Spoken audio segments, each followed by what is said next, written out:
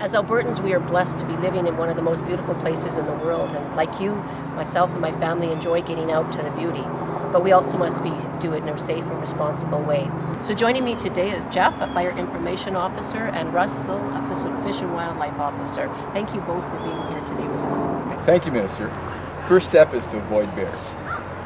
Food, even pet food, is, an, is a bear attractant. Never store it in or near a tent that you're going to be sleeping in or a tent trailer you're going to be sleeping in. Keep a clean camp. A portable electric fence is a great idea when you're camping in the backcountry. Uh, the clothes you wear, or even OHV gas, is an attractant. Store this stuff appropriately as well. When you're hiking, travel in groups. Make lots of noise. Kids usually don't have a problem with this. Keep the experience leading and following. Keep deterrents handy.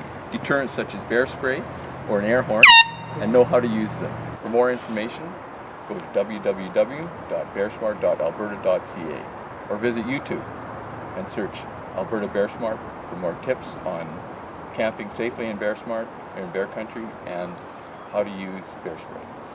Thank you very much, Russ. That's excellent. Thank you. There may be fire bans on across the province, and uh, some of these fire bans might restrict campfires or barbecues, for instance. And so, the best way to find out uh, what's going on in Alberta is to visit albertafirebans.ca, and there you'll find what is allowed and what isn't allowed. Um, you know, if there is, if you can have a campfire when you're out camping, the most important thing to do is to have a bucket full of water ready, and that way you can make sure that the uh, campfire is fully extinguished. So what you need to do is uh, soak the campfire, stir the ashes, soak it again. The ashes shouldn't be hot to the touch beforehand. A lot of people don't know this as well, but off-highway vehicles uh, can start wildfires. So debris can get caught up in the hot spots in the, in the engine underneath the exhaust uh, uh, and uh, can drop to the ground and start a wildfire. So people need to just be re really careful and uh, check and clean the debris around there. Excellent. We're certainly asking Albertans to take special care right now, especially while we're in the wildfire season.